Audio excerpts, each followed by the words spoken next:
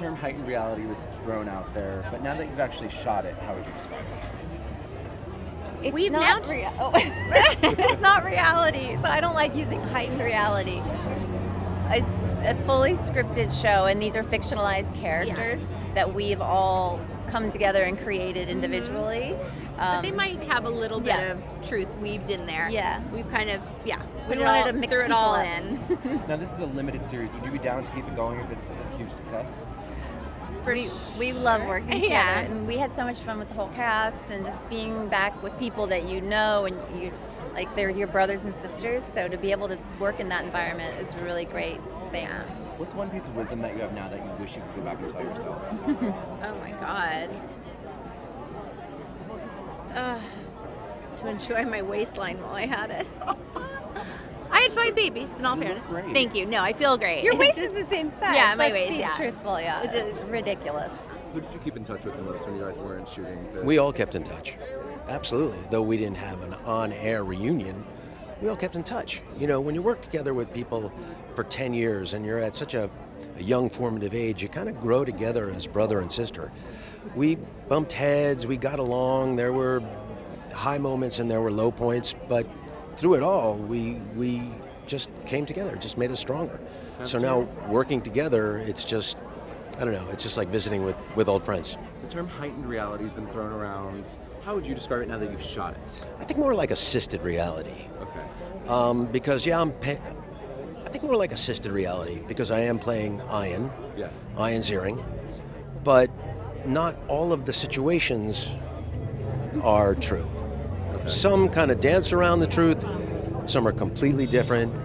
But what's nice is that it is my life to these sometimes extraordinary situations. As a super fan, did you feel pressure coming into this? Pressure? No, um, because I'm like the, I'm the plus one, so I'm just along for the ride. Um, yeah, I never felt pressure. No one has ever given me pressure. One of the first phone calls I got was from Tori, and it was the most. It was just the loveliest, most amazing. I'm like, this is this is good. This feels right, and I'm just so grateful. I genuinely felt like I was walking into a new family. So. So when they've all been together, how does it feel coming into something like that? I'm trying to think of what I can say and not say. Um, my character, let's see, how do I put this? They're all very welcoming, so I'm trying not to give away the plot. You know what I mean? totally. And there was never that feeling that I think you would think of, like, oh, there's there's the girl that's playing Jason's wife. There was never that feeling. It's like, what's up? We're all here. We're all together on set or at cast, at catering, at wardrobe, or it just it was like a big family offset, and then everyone went into their scenes, kind of thing. So growing up as a fan, did you always wish you could visit the Peach Pit? Uh, yeah, that's why I'm like, no offense, can we, can we, can we Totally, uh, so I can.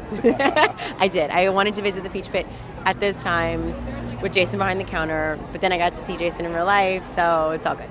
So it's 2019. Beverly Hills 90210 is rebooted. Like, who did you stay in touch with the whole time you guys weren't shooting?